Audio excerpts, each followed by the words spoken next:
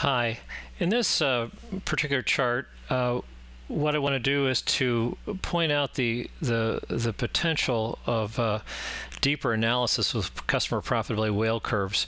If you take all of your customers and rank them, you've ranked uh, different uh, types of customers, different segments. Uh, it's not atypical for distributors to sell two, three, four, five different you know categories of customers, uh, and then you know large ones to small ones within those categories what you can do though is when you go and and what this curve says is is before we assumed that two customers that both had uh, the same sales and margin dollars and margin percent we would assume they pretty much made the same amount of money.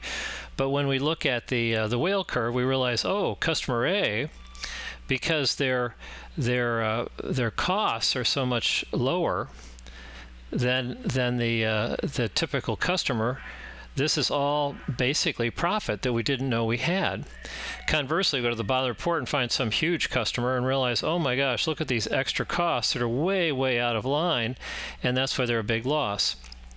What's even more revealing is if we do a twin study. So in other words, go to the, go to the bottom of the report, find your biggest loser, and uh, often it's it's uh, you know for, particularly for you know contractor supply distribution companies, you know a branch's best customer as far as sales and margin dollars could be at the bottom, because it's a guy that's a business that's local, right around the corner, and they have 20 vans, and those those guys come over every morning, lunchtime, and at the end of the day to you know buy some more stuff to go go, go do jobs or fix repair things. Um, so it's very hand to mouth, and they just say bill me, bill me, bill me, and all this paperwork costs is, is way out of line compared to the uh, the margin dollar that's in the paperwork uh, th- there. So we can go find a, a, worst case and then go up to the top of the report and hunt down to the top 5, 10, 20, 30 customers and find um, a customer who's really the same creature. Same rough say, you know, volume, margin dollar, margin percent, and yet we can see that the hidden profits are, are there or the much lower cost to serve. Now, if we have line item profit analytics, we can actually create separate P&Ls for each customer and contrast the two. Now, this is very useful. It's very instructive because a lot of times when you come up with a problem account like customer B, there's immediate pushback. Oh, well, excuses like you can't believe, it's impossible, there's no way we can change this guy. And yet, sometimes even within a given salesman's territory, you can go find a twin where in fact all that is being denied is actually happening. So, and we see the same thing with with uh, profitability of, of, of items and pricing. We see a very undisciplined pricing for a given stock keeping unit, but it's all over the map.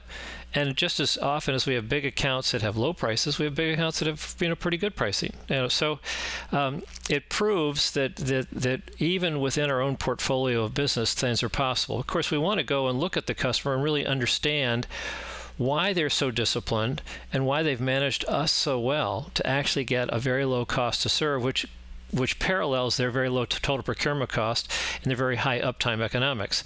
This person over here when they buy hand to mouth, they have lots of downtime.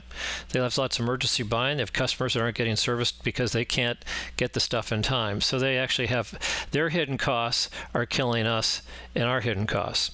So twin studies are very instructive uh, and and sort of blow away a lot of the the gut level myths or or uh, objections you may get.